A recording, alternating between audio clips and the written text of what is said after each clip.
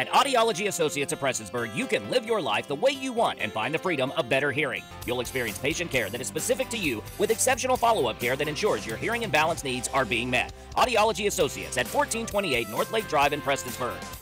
Paintsville Tourism will kick off their July 4th festivities July 1st with their 3 for 10 concert at the Sipp Theater. The events will continue throughout the weekend, featuring a cornhole tournament, a block party, farm fun day, and more. So I think anytime you can celebrate our independence and you foster that sense of community, it's very important to have folks come downtown and be a part of it. You know, bring your chairs and sit there and fellowship with each other and enjoy the inflatables and the fun that's down there. Um, and it brings folks to downtown. It lets us have a sense of community, which is uh, what we all enjoy.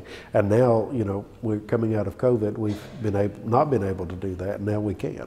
The festivities will continue with a farmers market hosted by the Paintsville Beautification Committee July 2nd and free live music at the Alley on Main with a fireworks show to close out the weekend on July 3rd. It's going to be right downtown Paintsville. The fireworks are beautiful. Come bring your lawn chair, bring your grill, have a good time. We want friends and family to come out and be a part of it. It's a it's a multi uh, agency event. You know, the city of Paintsville, the Paintsville Beautification Committee and tourism all have things going on downtown and we want everybody to be a part of it.